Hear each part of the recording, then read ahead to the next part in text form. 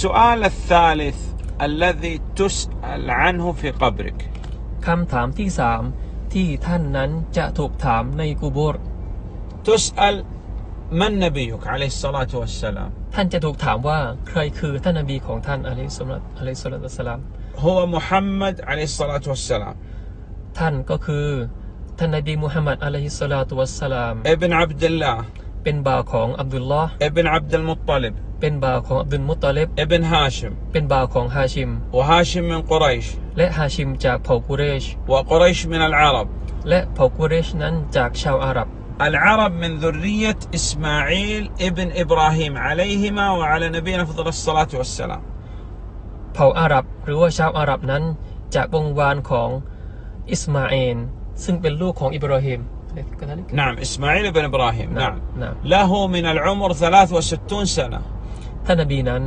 มีชีวิตอยู่ 63 ปีด้วยกัน منها 40 قبل النبوة หนึ่งใน 40 จาก 63 นั้น ก็คือสิ่งที่เกิดขึ้นหรือว่าช่วงชีวิตที่เกิดขึ้นก่อนการเป็นนบี 23 سنة نبيا ورسولا 23 ปี ท่านนั้นได้เป็นรอซูลนะครับ และก็เป็นท่านนบี أرسل إلى الثقلين الجن والإنس ท่านท่านนั้นได้ถูกส่งมายังสกอเลน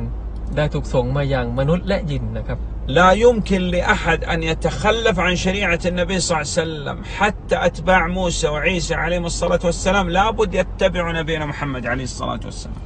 ไม่อนุญาตหรือว่าเป็นไปไม่ได้เกิดขึ้นไม่ได้ที่ใครคนใดคนหนึ่งนั้น จากประชาชาตินี้ที่จะ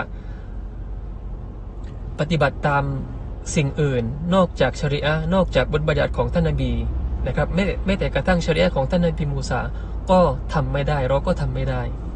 يدعو إلى توحيد الله سبحانه وتعالى ท่านนบีมุฮัมมัดนั้นทรงเรียกร้องไปสู่การให้เอกภาพต่อพระองค์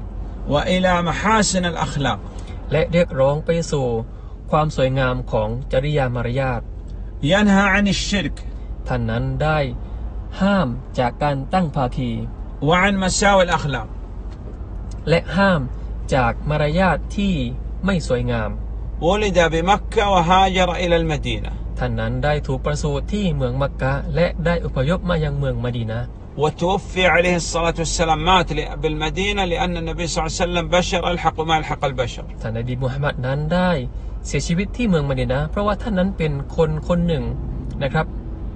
وهذا دين النبي صلى الله عليه وسلم دين كامل ولله الحمد لا يستطيع أحد أن يبتدع شيئا في دين الله และศาสนาของท่านนบีมุฮัมมัดศาสนานี้เป็นศาสนาที่สมบูรณ์ยิ่ง